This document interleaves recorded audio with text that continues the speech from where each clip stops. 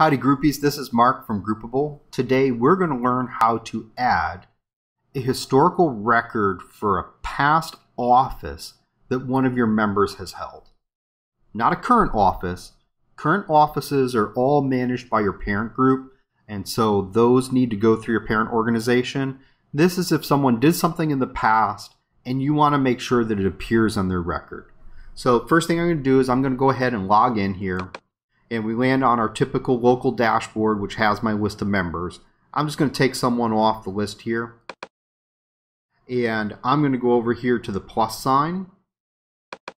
And let's say that this person was, say, like an assistant lecturer for the organization here. Right here, I've got my full list of the different offices that are available within your particular organization. And for this one, we're going to say he was an assistant grand lecturer. And so it knows that that's a district level office. So I'm going to get the drop down list of the different districts. And I'm going to pick one of those there. And you could say what year he was. Let's say he was from 2000 and he served until 2002. You can do that there. Click Save.